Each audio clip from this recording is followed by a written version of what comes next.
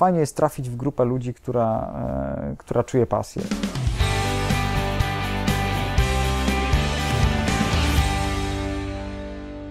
Cześć, nazywam się Piotr Rotter, e, pracuję w firmie Nokia jako e, programista systemów budowanych. Piszę głównie w C, ale tak naprawdę nigdy nie wiadomo, co nam dzień przyniesie. Pierwsze spotkanie jest tak około godziny 8.30, 9, tak żeby się tym spotkaniem nie zmotywować, nakręcić na cały dzień. A potem to już jak pudełko czekoladek. Czasem jest tak, że wszystko mamy świetnie poplanowane, a, a potem się okazuje, że coś ze sprzętem na przykład nie zadziałało.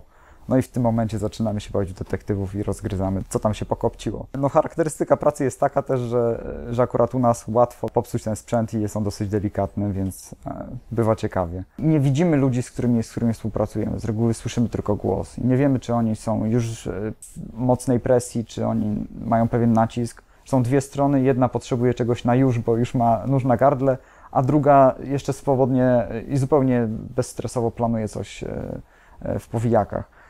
Oj, najbardziej lubię te wszystkie przypadki, którym, e, które są nie do rozwiązania pozornie, a tak naprawdę wystarczy trochę pomysłowości, trochę takiej naszej zwykłej polskiej zaradności, żeby sobie z tym poradzić.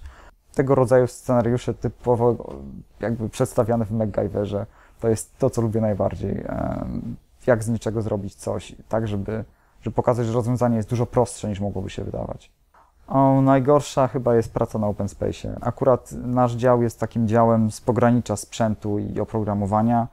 Najchętniej rozłożylibyśmy się w garażu i, i wybebeszyli cały ten sprzęt, który mamy do dyspozycji. Po prostu ten gąszcz kabli jest konieczny. Tutaj konkretnie do Nokii no, zaprosił mnie kolega. Zgłosiłem się na rekrutację. Z góry wiedziałem, do jakiego zespołu e, idę, z góry wiedziałem, czym się ten zespół będzie zajmował. E, No i była tylko kwestia złożenia CV i przyjścia na rozmowę rekrutacyjną. Na rozmowie oczywiście e, dosyć ciężki magier. Moja dobra rada to tylko tyle, żeby się przynajmniej przygotować. Na tyle, żeby wiedzieć, co, co się chce robić. Najlepiej odnowić kontakty z, z kolegami, koleżankami ze studiów, z podwórka, z podstawówki, skądkolwiek i po prostu puścić informację, że, że szuka się pracy. Możemy się dowiedzieć, że, że jest jakaś oferta, która jest rzeczywiście pewna, sprawdzona i nie ma możliwości, żeby trafić na kota w worku. Ja bardziej skupiam się na tym, co jest przede mną, niż, e, niż na tej jakby retrospekcji. Z przeszłości trzeba wyciągnąć wnioski i trzeba je po prostu zaaplikować do przyszłości. Próbuję tak naprawdę e, dostać się do działu 5G, to znaczy przechodzę tam za miesiąc i myślę, że to może być całkiem, całkiem ciekawa frajda, e, żeby tak naprawdę wymyślić, jak, jak to ma działać. Zobaczymy, co z tego wyjdzie.